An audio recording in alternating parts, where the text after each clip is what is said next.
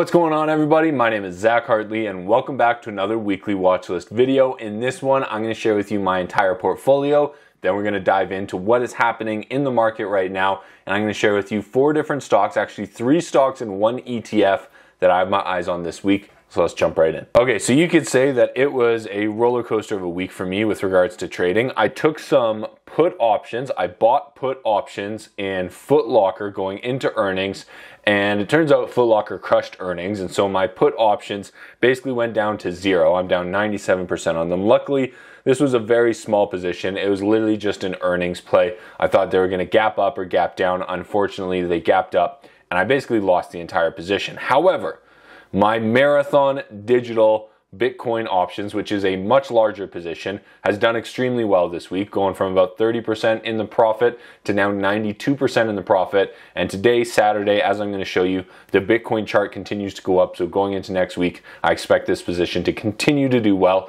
I also bought some options in Coursera this week and I bought some stock in Amazon. I post all these trades to my Discord chat. So if you want to see up to date analysis and when I make these trades, you can sign up for that with the link in the description. But let's jump into the Nasdaq, the S&P 500 and the Dow Jones. When it comes to the Nasdaq, we have had an amazing couple of weeks here, but we are starting to level off just a little bit. We've got a crossover of the MACD and it looks like we're starting to take a small little break here as we begin to approach previous highs. When it comes to the S&P 500, we don't really see that slowdown, but we're definitely approaching previous highs and I'm expecting some resistance to kick in. When it comes to the Dow Jones, we have just broken through the previous resistance. We're looking really good and we're basically going up to that previous high that we set at the end of last year, which is really nice. When we look at the volatility index or the VIX, it is going in the downward direction still, which shows us that we have some calmness and we have no panic, no nobody's super worried, and the market is not super volatile right now. For the most part, it's just been going steadily up. Same thing with the price of Bitcoin. Ever since, actually, this time last year, I made a few videos and said it is time to buy Bitcoin. You can go check my watch list videos from exactly this time, maybe a few weeks ahead last year. So one year back, Bitcoin was at like 16, 17, 18,000 dollars. I said it was time to buy it, and Bitcoin just continues to go up. This is what is driving up the price of Marathon Digital and my options there. And I expect this to continue to go up going into the holiday season. Now, if you're interested in getting started with crypto, Newton is going to give you $25 in free crypto. If you just open an account, trade with $100 or more, you will get $25 instantly deposited into your account. It's like a 25% ROI, pretty much guaranteed, which is nice. So definitely check that out.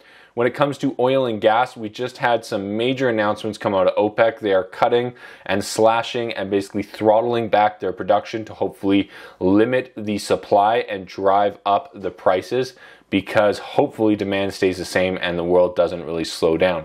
That would drive the prices back up, but it will be interesting to see what impact this has over the next few months.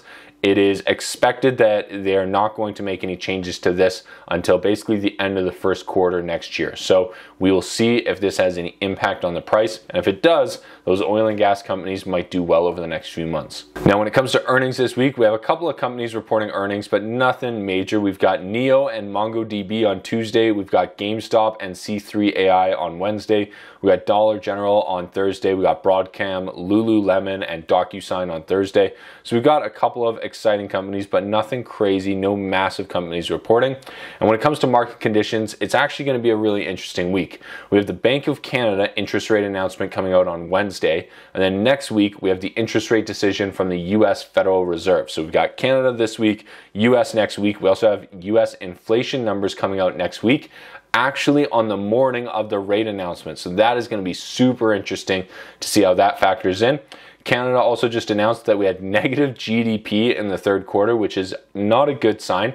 It does mean that we are not technically in a recession because this was just the first quarter of negative GDP, but it is not a good sign. And at the same time, while the Canadian GDP is declining, gold just hit an all time high. And so gold and Bitcoin doing extremely well. Oil and gas not doing so hot right now. And uh, it's an interesting market out there. There are a lot of things going on. One other kind of industry and niche that I'm watching right now is uranium. If you notice here, prices have gone from $50 to 81. That is a pretty drastic increase, and we are now sitting at the highest prices since 2008. Now, I looked into a couple of companies when it came to uranium. Cameco, based here in Canada is actually one of the largest ones, but they are fairly expensive. And so I dropped down to a smaller company. And this is one that I actually profiled on my channel two years ago, back when the price was $2.21. It is now trading at $6.65. And the reason I want to point it out is because we recently hit this level right at the beginning of 2022.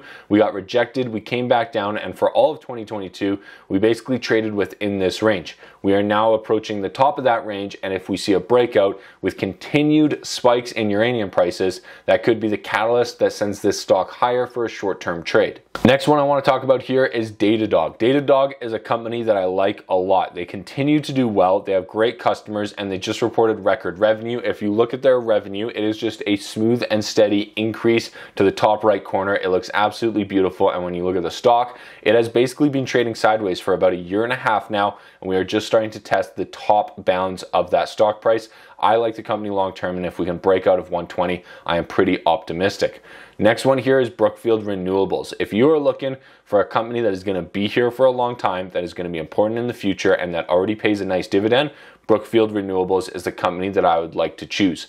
The company dropped down here to $30, and I thought, damn, it looks appealing there. I like it at $30 but it's like catching a falling knife. And so I waited for the trend to turn around. As you can see, the stock has now broken out of our long term bearish trend. It's broken out of both of our short and long term moving average. And now on Friday, we have just broken out of previous resistance. And so I like the stock. I think they're doing very well. If this trend continues, I'm a buyer and I'm putting Brookfield Renewables in my long term portfolio. Now, the last one I want to share with you is the ETF. Like I mentioned, it's actually a Canadian bank ETF and it uses both leverage and covered call options to generate over 16% yield, which is absolutely amazing. And it's invested into Canadian banks, which is one of the most secure things that you can invest into. And so, what I am watching for here is it's a fairly new ETF. The banks have been hit hard over the last few months here, but I think they're starting to bottom out. And so, as soon as this starts to break through previous resistance at $18 here, we've already crossed above our moving averages here.